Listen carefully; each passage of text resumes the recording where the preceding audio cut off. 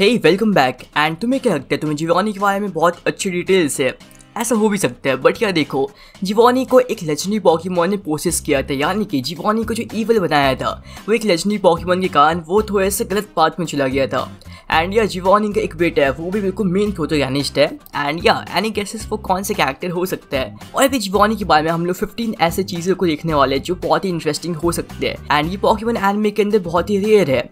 देखो यार जीवानी भी एक मेन कैरेक्टर में से एक है। अब तुम उसको मेन प्रोटोगानिस्ट तो नहीं लेकिन एंटेगानिस्ट बोल सकते हो? अब एंटेगानिस्ट मतलब विलन ही होता है। मतलब टीम रॉकेट तो भाई मेन एंटेगानिस्ट है ना? अब चलो, मैं टीम रॉकेट ट्रियो की बात नहीं कर रहा, वो भाई ऐसी चंपू है, लेकिन हाँ बाकी जो टीम रॉकेट है, वो थोड़ी सी इवलनेस प्रोसेस करती है, लेकिन या एनीवेज हम लोग अभी बढ़ते हैं जीवानी के बारे में। क्योंकि जीवानी ही अपना एक मेन कैरेक्टर है, जो टीम रॉकेट को अच्छे से कंट्रोल करता है। एंड उससे पहले भाई बस फॉर्मेलिटीज है, वो पूरी करना है। एंड बाकी कोई भी इस वीडियो में एडजस्ट करता है तो उसका भी आंसर देना मत भूलना। सो है ना अब हम लोग सीरियसली स्टार्ट करते हैं। सो फैक्ट नंबर फिफ्टीन तो जीवानी उस टॉप फिफ्टीन कैरेक्टर में पॉकीमन एडमी के अंदर आता है, जिसको सबसे ज़्यादा एपिसोड के अंदर दिखाया गया है। अब यह देखो पॉकीमन को छोड़ के एज ए ह्यूमन कैरेक्टर में जीवानी की भी अपीयरेंस बहुत बार हुई है। वहाँ हाँ अपने जो मेन कैरेक्टर्स है, उनके साथ साथ जीवानी भी बहुत फ़ेमस है, इससे ये पता चलता है। सो फैक्ट नंबर फोर्टीन तो तुम लोग सिल्वर को जानते होगे। एंड अगर तुम लोग सिल्वर को नहीं जानते, सिल्वर कौन है? तो पॉकेमन गोल्ड एंड सिल्वर जो गेम्स होते हैं, मैं अभी गेम के हिसाब से बता रहा हूँ तो उस गेम्स के अंदर वो देखो इथन यानी गोल्ड के साथ साथ एक कैरेक्टर होता है सिल्वर वो जो सिल्वर है, वही बेटा है जीवानी का। ऐसा हम लोग को पॉकेमन जनरेशन के अंदर बताया गया जो एक एनिमे सीरीज़ थी, जो इसके ऊपर बेस्ड थी। एंड देखो गेम्स के अंदर तो स्टोरी के हिसाब से ऐसा कुछ नहीं बताया गया, लेकिन जो एनमे के अंदर है, वहाँ पे कंफर्म किया गया है कि सिल्वर ही जीवानी का बेटा है। So fact number thirteen Giovanni ने एक पॉकेमन बनाया है। एंड तुम लोग क्या सोचते हो, उसने म्यूटू को बनाया अब ये भी सही बात है म्यूटू को बनाने का उसी का प्लान था। तो उसने प्रोफेसर को हायर किया, उसके बाद यहाँ पे रिसर्च चली। लेकिन म्यूटू की तरह ही उसने एक और पॉकीमोन को बनाने की कोशिश की गई थी। उसको कहते हैं मैचा म्यूटू एंड हम लोग को पॉकीमोन लाइव नाम के एक म्यूजिकल शो था। उसके अंदर ऐसा बताया गया था, जो एक ऑफिशियल शो था वो पॉकीमोन लाइव का। तो उसके अंदर मैचा म्यूटू का इंट्रोडक्शन हुआ था एंड उसके बारे में थोड़ी सी समरी थी। तो ऐसा कहा जा रहा था जिवोनी ने लाइक म्यो के डीएनए से यहाँ पे मैचा म्यूटू को बनाया। अब देखो यहाँ पे दो पॉसिबिलिटीज है।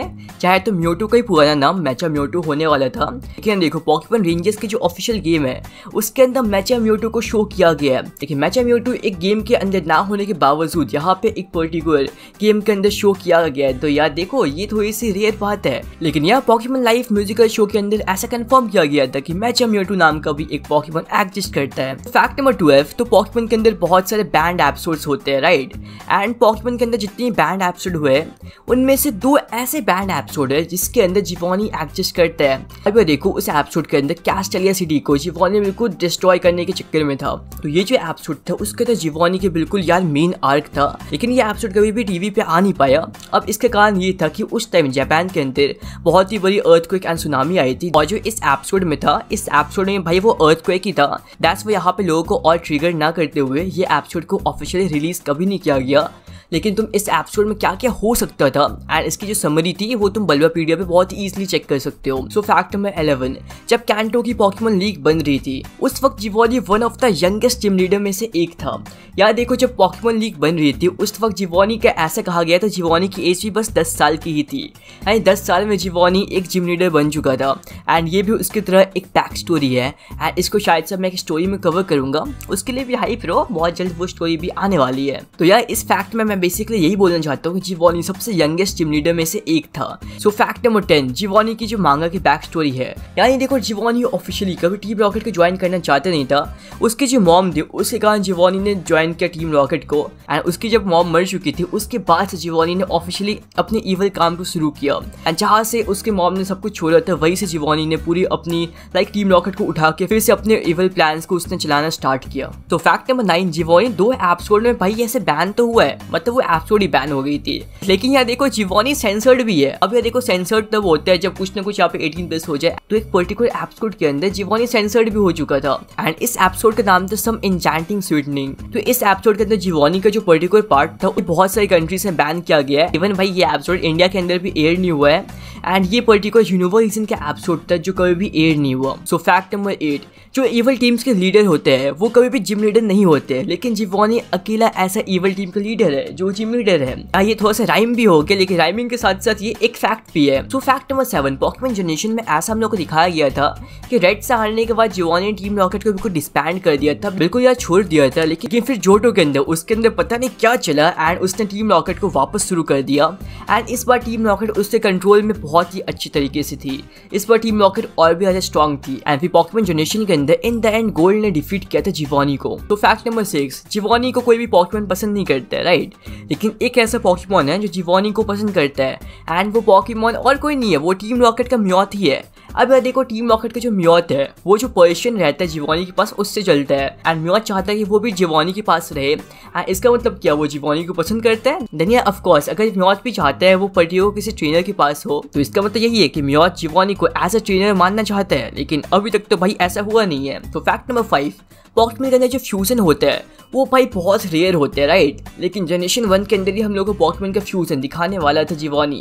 लेकिन ऐसा सैडली नहीं हुआ। तो मॉल्ट्रेस आर्टिकुनो एंड जैपडॉस तो इन तीनों को फ्यूज करना चाहता था जीवानी। एंड ऐसा हम लोग को मांगा के अंदर बताया भी गया है। एंड तुमने अगर पॉकेटमैन एडवेंचर स्टेट खेला होगा तो उसके अंदर ही भाई ऐसा होता है। सो फैक्ट नंबर फोर ये फैक्ट शायद से मैंने गलती से अभी इस फैक्ट सीरीज़ के अंदर पहले ही बता दिया। तो ये है कि जीवानी की जो मॉम थी, वो भी टीम रॉकेट की बॉस रह चुकी थी। एंड उसी कारण से जीवानी ने टीम रॉकेट को कंटिन्यू किया। सो फैक्ट नंबर थ्री तो पॉकेमोन स्टेडियम के अंदर जीवानी का जो नाम है ना, भाई वही गलत है। मतलब हाँ ये कैसे हो सकते हैं, लेकिन एक्चुअली यही हुआ है।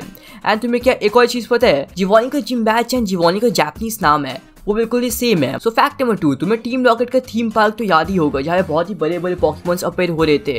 तेरा उसको जीवानी नहीं बनाया था। एंड देखो जीवानी लोगों का ट्रस्ट गेन करना चाहता था। दैट्स वाई उसने एक थीम पार्क बना दिया था। एंड इससे तुम्हें क्या लगता है? जीवानी क्या मैनकाइंड के लिए भी अच्छा कर रहा था? अरे देखो जीवानी को भले ही लोग ईवल मानते लेकिन जीवानी ने कुछ अच्छे काम भी किए उनमें से एक है जीवानी ने अपने पोजिशन को भी सेव किया था। एंड जो पोजिशन जीवानी के पास अभी है, वो शायद से जीवानी के पास कभी भी ना होती। क्योंकि देखो, वो पोजिशन बहुत ही इंजर्ड थी एंड वो जंगल में थी।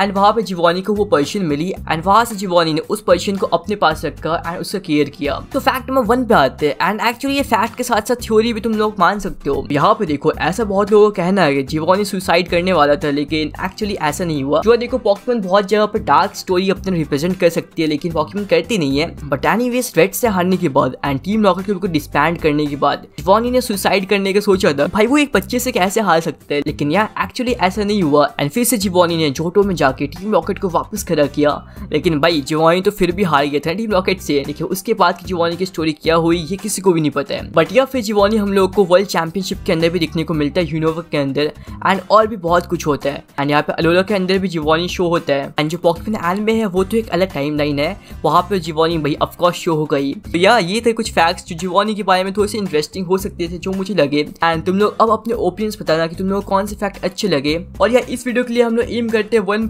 के लाइक्स क्या हम लोग ये कर सकते हैं? एंड एक्चुअली ये भी हो सकता है। सो या अब तुम लोग मुझे कमेंट से बताना कि तुम लोग कौन से फैक्ट अच्छा लगा। एंड आज के पॉकेट क्विज तुम लोग के सामने होगा। उसका भी आंसर मुझे कमेंट से बताना और पिछले बॉय के विनर्स थे legend killer Subhra Pratik Raut and Mohammad Ali. और यहाँ आज के बॉय के भी आंसर तुम लोग कमेंट्स में दे देना और मैं मिलता हूँ तुम लोग को अगले वीडियो में। Until then this is set galaxy signing out